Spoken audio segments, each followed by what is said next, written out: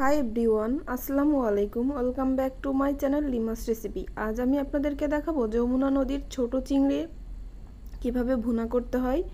বাসায় থাকা সামান্য কিছু উপকরণ দিয়েই গ্রাম্য পদ্ধতিতে আজকের রেসিপিটা আমি তৈরি করে দেখাবো। তো আমার ভিডিওটি ভালো লাগলে অবশ্যই অবশ্যই লাইক কমেন্ট শেয়ার করবেন এবং আমার চ্যানেলটিকে একটা সাবস্ক্রাইব করে দিবেন। চলুন বন্ধুরা, দেখিয়ে দিই পুরো প্রসেসটা একটা কড়াই আমি পর্যাপ্ত তেল নিয়ে নিয়েছি, এখানে দিয়ে দিব আমি এক টেবিল চামচ পরিমাণে রসুন বাটা, হাফ চা চামচ পরিমাণে আদা বাটা এবং দুই টেবিল চামচ পরিমাণে পেঁয়াজ বাটা। তো ঢেলে দিলাম, দেওয়ার পরে এগুলোকে একটু নেড়ে চেড়ে কিছুক্ষণ কষিয়ে নিব। তারপরে দিয়ে দিলাম দুইটা তেজপাতা, তিন টুকরা দালচিনি। তো এরপরে এটাকে আর একটু খুন্তি দিয়ে ভালো করে নেড়ে চেড়ে মিশিয়ে দিও। দিয়ে দিলাম এক টেবিল চামচ পরিমাণে লাল মরিচের গুঁড়া। দিয়ে দিলাম হাফ চা চামচ পরিমাণে হলুদের গুঁড়া। দিয়ে দিব স্বাদ মতো কিছুটা লবণ। তো উপকরণগুলোকে কিছুক্ষণ একটু কষিয়ে নিব। দিব সামান্য একটু ভাজা জিরার গুঁড়া। তো দিয়ে এটাকে খুন্তি দিয়ে আর একটু ভালো করে নেড়ে চেড়ে কিছুক্ষণ কষিয়ে নিব। এরপরে সামান্য একটু পানি দিয়ে নেড়ে চেড়ে এটাকে ঢাকনা দিয়ে ঢেকে রেখে দিব। তাহলে একটু ভালো কালার আসবে। তো এবার একটা ঢাকনা দিয়ে এটাকে আমি জাস্ট ঢেকে রাখব।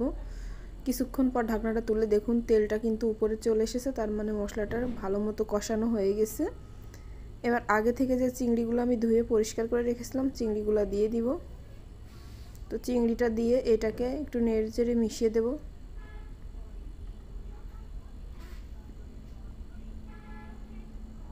তো এভাবে একটু নেড়ে চেড়ে চিংড়িটাকে মিশিয়ে দিতে হবে এবং কিছুক্ষণ নেড়ে চেড়ে এটাকে একটু জাল করে তারপরে দিয়ে দিব আমি তিনটা কাঁচামরিচ। কাঁচামরিচটা দিলে একটু ফ্লেভারটা ভালো আসে, তাই।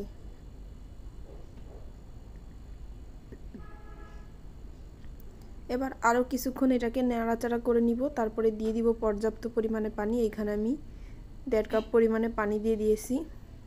সামান্য হালকা হালকা একটু মাখো মাখো ঝোল থাকবে। এবার ঢাকনা দিয়ে ঢেকে দেব। কিছুক্ষণ পর ঢাকনাটা তুলে এটাকে একটু নাড়াচাড়া করে দিব।